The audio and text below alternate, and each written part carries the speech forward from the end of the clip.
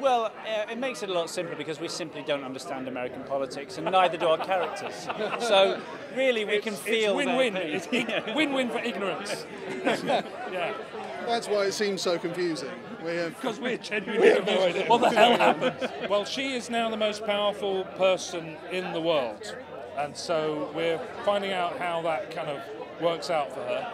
Um, she's she's in the unusual position of being the president and campaigning to be the president, which so she's taking her eye off at least one of those two balls, if not both of them, at the same time. The, dan- the danger is she could be president for just eight months, so she could be one of the shortest lived presidents, if not the shortest lived president who wasn't assassinated in history. Well, that's the danger to her. The danger to America is that she could be president for a further eight years.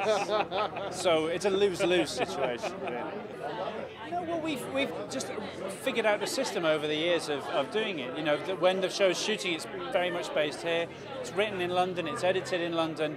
Uh, we we don't we are just permanently jet lagged now as human beings.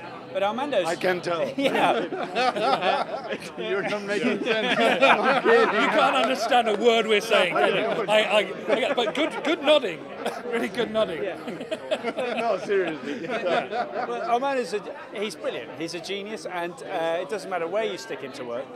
It'll be fantastic, and so he's managed to hold this thing together uh, like a like a weird bridge over the Atlantic. God knows how, but he's done it. He's extraordinary, and and you know, lo- along with uh, all of the members of the cast, there's a real sort of culture of uh, nothing is. We never say that will do. Nobody ever says that will do. It's always right up to the last minute. It's what what else can we do? What more can we do? We're always writing it. We're, we're writing on set. We never. There's never a point where it stops being created, and that's very exciting for us as writers and producers, as it is for the cast as well. I think I find it very scary, I must say. yeah.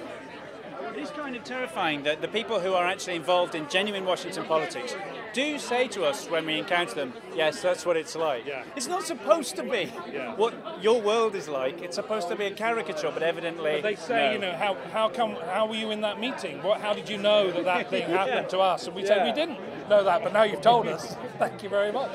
We make it up, but it kind of seems to come true sometimes in real life. Yeah.